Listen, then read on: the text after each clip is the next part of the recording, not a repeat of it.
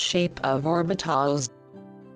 An orbital means region around the nucleus where you can find maximum number of electrons. That means electron cloud.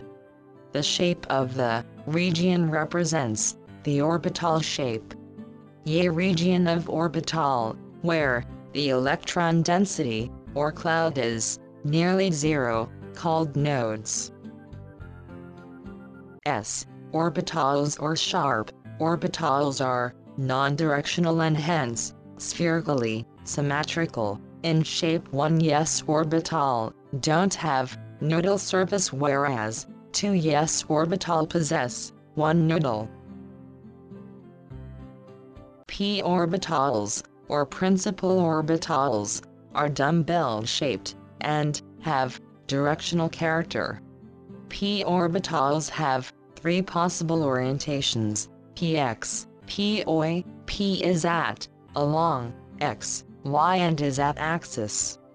Two lobes of each orbitals are separated by a nodal plane, where electron density is zero. d orbitals, or diffuse orbitals have five possible orientations. dxy, dyz, dzx orbitals are clover leaf shaped present between the axis, dx square, y square, orbital also clover leaf shape directed along the x and y axis. Dz square orbital is dumbbell shaped, with donut shaped electron cloud in the center.